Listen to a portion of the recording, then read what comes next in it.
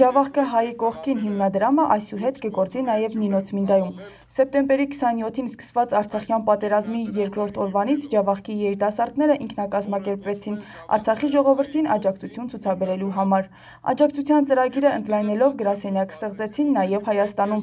Նպատակը դարձյալ Արցախին աջակցելն էր։ Պատերազմի ավարտից հետո մինչ օրս չի դադարել նրանց գործունեությունը։ Այժմ աջակցություն են ցուցաբերում զոհված զինվորների ընտանիքներին եւ վիրավոր զինվորներին։ Բարեգործական ծրագիր են իրականացնում նաև Ջավախքում անապահով եւ կարիքավոր ընտանիքներին տրամադրում են սննդամթերք։ Ջավախքը հայի կողքին հիմնադրամը որպես իրավաբանական անձ գրանցված է Հայաստանում։ Հիմնադիրները Ախալքալակում եւ Նինոց Մինդայում սեփական տարածք են տրամադրել բարեգործական ծրագիր իրականացնելու համար։ Նինոց Մինդայի գրասենյակի բացվելու կապակցությամբ Հայաստանից վերադարձել է Կարեն Պապիկյանը։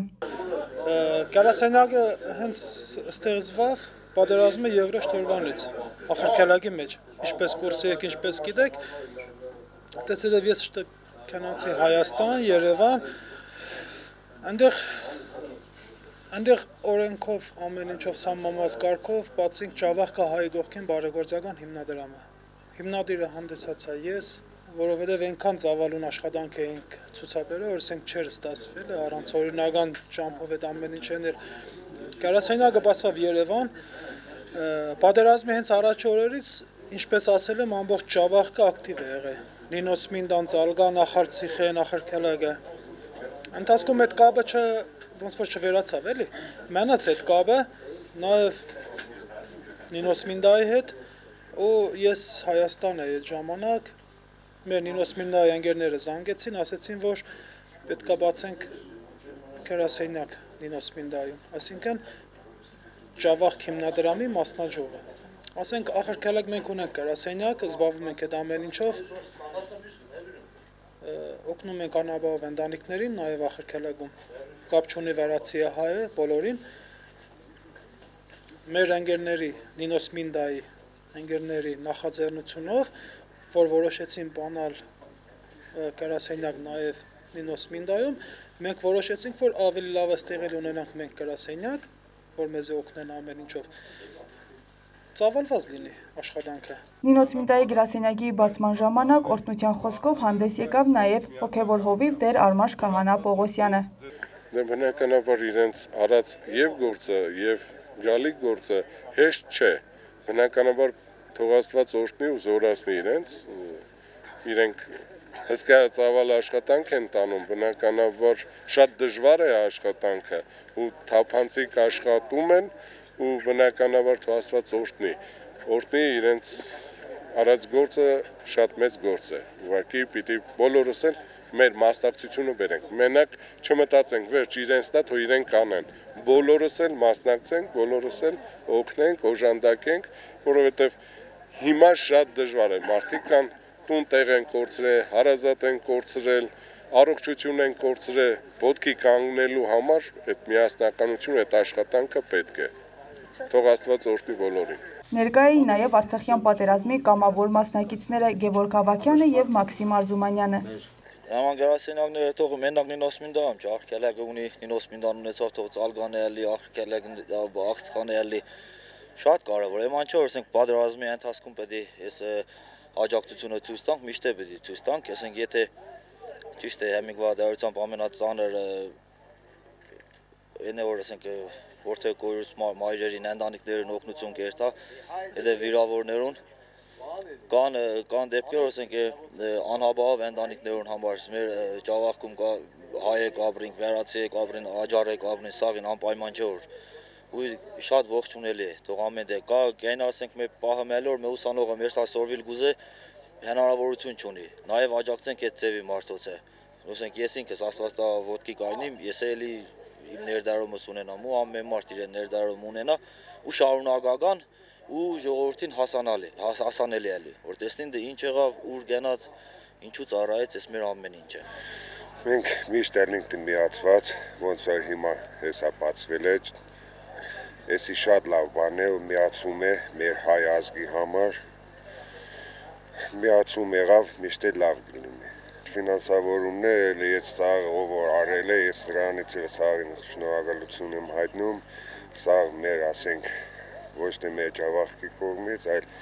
սա մեր հայ զինվորների կողմից իմ շնորհակալություն հայտնում։ Էդի անպայման պետք է որ միացման ալինք մենք հավաքվենք, որ ասենք վաղ ասված չնելինի մի բան, որ մենք միշտ պատրաստ լինենք որ միաց միացում։ Նինոց Մինտայի գրասենյակի տնօրենն հավատացած է, որ այսուհետ ավելի շատ բարեգործություններ կարող են անել։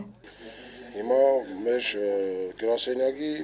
հետագա գործունեությունը, ուրեմն մենք մտածել ենք, որ առաջինը մեր զոհված եւ վիրավոր զինվորների ընտանիքներին պետք է աջակցենք, դա առաջնայինն է։ Ինչու՞ չէ եւ Հայաստանում եւ Ջավախքում ովքեր անաբավ ընտանիքներ են, ունեն ֆինանսական կամ ինչ որ բժշկական կարիքներ իրանց էլի պետք է օգնենք։ Մենք մի քանի օր հետո որոշել ենք կոնֆերենս զալ հրավիրենք մեր բոլոր Նինոց Մինդայի եւ 32 գյուղերի գործարարներին, որովհետեւ ներկայացնենք այս մեր ծրագիրը, հստակ ծրագիր, մենք էլ հայկական հիմնադրամին փող չենք ուղարկում։ Այն մնացած ինչ փող ուղարկել ենք, դա պատերազմի ժամանակ եղել։ Հիմա մենք անադական ենք ուզում բոլոր զինվորների ընտանիքներին այցելել եթե Ջավախքում է զինվորների ընտանիքները Ջավախքում, եթե Հայաստանում է մեր Կարեն ընկերոջ գլխավորությամբ կայցելենք բոլոր ընտանիքներին ֆինանսական, ինչու՞ չէ ապրանքներ, ինչու՞ չէ բժշկական պարագաներով եւ մեկ էլ պրոթեզավորում պետք է Ամերիկայից նույնպես այդ կազմակերպությունը մեր հայ բժիշկները կազմակերպել են մենք ուզում ենք մեր վիրավոր զինվորներին ովքեր ձերքի եւ ոտքի պրոթեզավորման կարիքներ ունեն, այս ֆինանսական օգնությունը հստակ ուղղված է դեպի այդ կողմ։ Ջավախկը հայի կողքին հիմնադրամի հիմնադիր Կարեն Պապիկյանի հետ խոսեցինք նաև իրենց գործունեության թափանցիկության մասին։ Ինչպես հայտնի հենց առաջի փուլում Պոլոնը ներկա է եղել 270.000 դոլար փող հավաքվավ մոտավորապես։ Այդ ամեն ինչը մենք փոխանցեցինք համայնքական հիմնադրամին։ Դրանից հետո հայտարարվավ երկրորդ փուլ, հավաքվավ 140.000 դոլար։ 140 հազար դոլարը իհարկե ոչ լիարժեք մեր ռայոնի մասշտաբով գյուղերի փողերը հավաքվավ, ինչը որ ես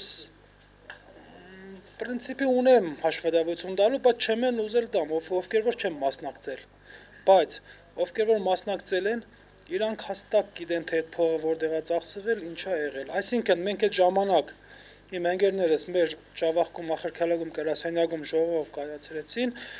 որոշեցին, որ պետք է այցելենք զոհված մեր ընտանիքներին։ Այդ ժամանակ 35 հոգի էին մեր, ովքեր որ արմատով Ջավախցի էին զոհված ընտանիքները։ Հիմա արդեն 60-ից անցել են։